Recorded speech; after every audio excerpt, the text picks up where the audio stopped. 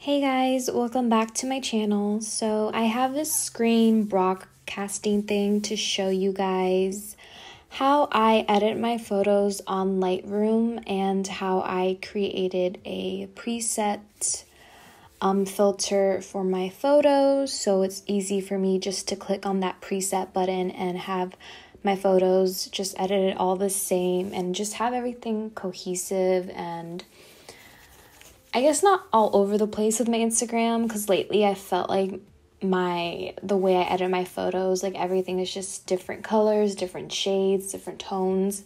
And for once I wanted to slowly start using um, filters that you know complement to my skin tone and to have you know just that whole like aesthetic i guess you could say so this is how I use my Lightroom app. So I'm to go ahead and open up Lightroom. And I was already clicked on the camera rolls. Camera rolls. So let's say I want to edit a photo. I go to my camera roll and I'm to click on the photo that I want to edit. So let's say I want to go ahead and edit this. So first things first, um, instead of going ahead and clicking on like my preset setting, I'm going to show you guys the full, oops, the full detail on what I have in each category as of my light, my color, the effects, everything, like the numbers. And so I'll keep them on the side too, um, just in case if you guys want to follow along or even if you just want to try this out and see if it's something that you like. But honestly, at the end of the day, it's just your preference. It's just the way, you know, it's, it's just how you enjoy your photos. Because I know a lot of people like that whole aesthetic, bright white Instagram pics. Um, personally, I kind of like them in other people's profiles, but just for me, I just feel like it just makes me look too white and just too, I don't know, too pale. So, this is definitely something that I like to give myself a tan with too. So, actually, right off the start, sometimes, like as you can tell, I have a texture on my skin. I have acne, nothing new. So, usually, um, depending on my mood, I'll even go into um, my Facetune and actually Facetune, like smooth out my skin. So, I'll usually go into the smooth setting and even smooth out like my texture that I have. Um, sometimes I just try to keep as natural as possible. Um, so you can either keep it like super smooth or you can just sum it down, just depending on your preference. But for now, I'm just going to show you how it looks without even smoothing that out and just going ahead and starting to edit my photo on my Lightroom account. So, first things first, um, you know, if you just want to have a quick edit on your photos, you can definitely press that auto button. But for this video, I'm going to show you guys my each of like my pre like this pre coconut kind of theme preset. So this theme is like a very like just very tan, warm coconut. This is what I call it. It's like my coconut theme. So, um, I even have two different presets too. I have a coconut and then a coconut 2. The coconut 2 is for those um pictures that I want a little bit more natural, not too warm. Um, but lately I've just been sticking with my coconut preset. So, anyways, this is going to be a lot of rambling and I'm so sorry about that. But this is just how you gotta get it done, guys. And also, you can always just play around with different settings uh, on this and just the exposures and the lights just to get your feel of it. So, first things first, I start off with the light. And my exposure, I have it at negative 40. Ooh, I went too bad. So negative 40, contrast, contrast I have it at plus 15. Highlights, I keep it at zero. Shadows, I, oops. So, sha- ooh, girl. so, shadows, I keep it at negative 32.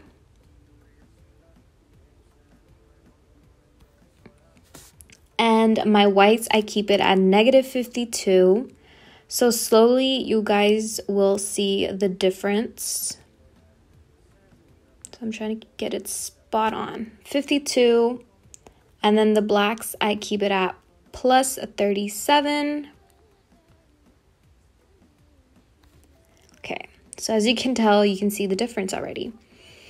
And so after I'm done with that I go on this little thing right here on the side that says curve I don't know how to explain this, but like I said, it's all about just playing around. So these different colors right here, ignore these red, green, and blue ones. You want to look for the one that's like all of these right here, just all the three colors.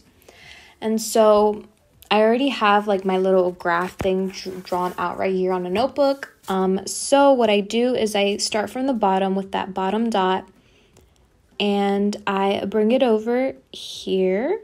Oh, not there so I have one that's there. So I'm just going to keep it there. I had to pick up my phone for this part. And then this part, I'm going to drag this. I have long nails right now, so it's kind of difficult to do this at the moment. And then this one I'll keep right so like it's just so hard right now to do it with nails. And then keep this down here or actually I need it at the line. This is so hard. I need like a little those little iPad or pen things that you can use on your phone because these nails are not letting me do anything Okay, so okay. I think that would just do. And then this I just keep straight. So it's not 100% matching with what I have originally on my graph. Unfortunately, I'm starting to notice that a little bit. But we're just going to keep it like that and move on. Okay? So I'm gonna click on it. I'm I'm gonna press done, and we're done with the light category. So I'm gonna go into color. So you have all these colors, your temperature, tint, vibrance, and saturation. So my temperature, I keep it at plus 52 because I want my tan. I want that tan. My tints, I keep it at plus 14. The vibrance, negative 10.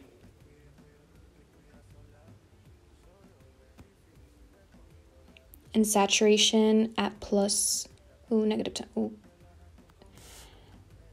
And saturation at plus 4.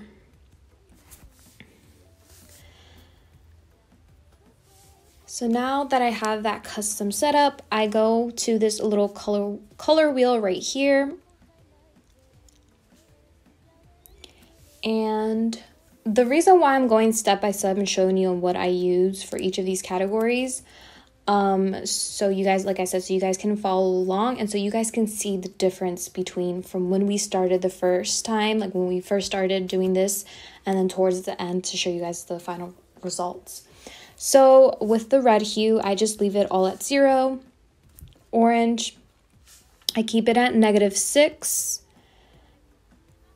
The saturation, I keep it at negative nine. And the luminous, I keep it at plus 11. I want to keep it spot on. So if you want to look more bright in your photos, definitely turn up the luminous on that part. So the yellow, I am keeping it at negative 87 because I want that warmth in my skin. Oh, not negative 88. Saturation, negative 84.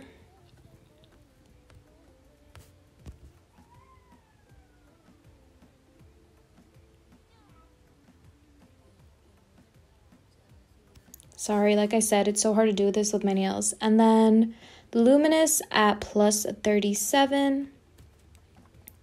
So now we're going to our green wheel. The hue, I keep it at negative 74.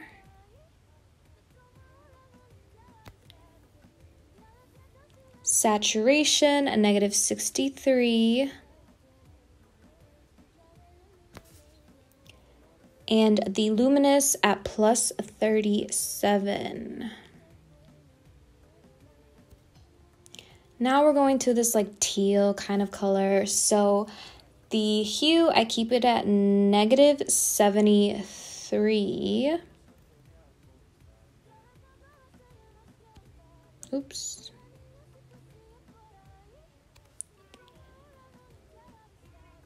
And then the saturation, negative 59. Sorry if you guys can hear noise in the background. I'm like right by a window, so if you hear like my neighbors, I'm sorry. And then the luminous at plus 28. And also, I am no professional whatsoever. Like, I am no photography professional. I've just had to learn, like, myself, research, and just look up what I like and what works for me.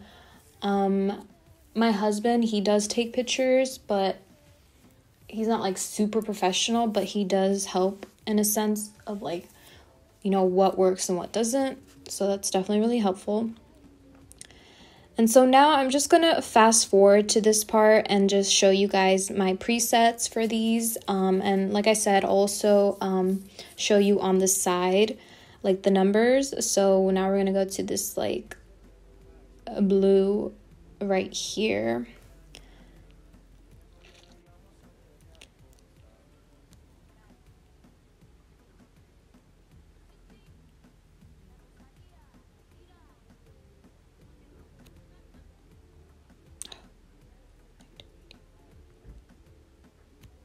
Saturation, negative 60.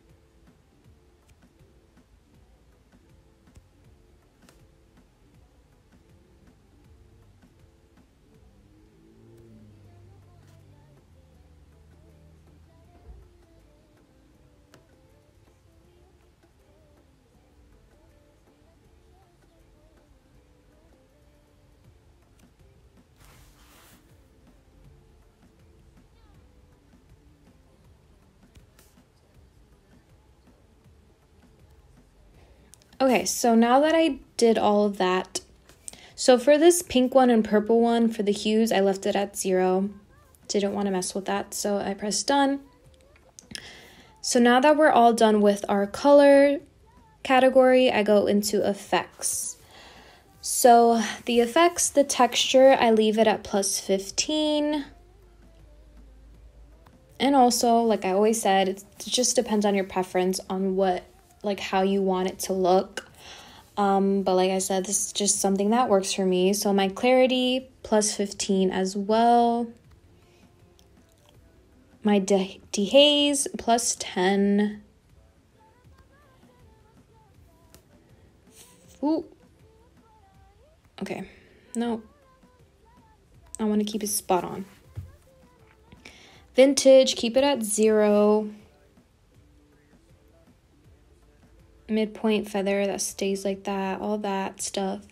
The grain, I love that whole grain effect. So depending on my mood on like the day of the picture, I'll either turn it up a little bit more, turn it down depending, but usually as the preset, I keep it as just 10.